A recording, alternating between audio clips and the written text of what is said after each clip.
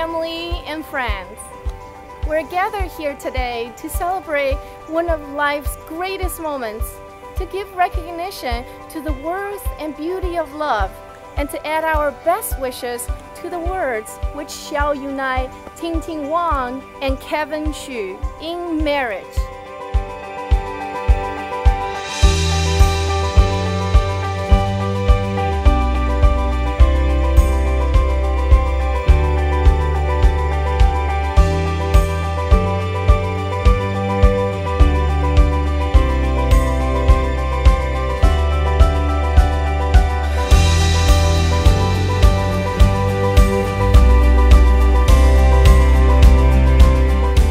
By the power vested in me by the state of New Jersey, I now pronounce you husband and wife.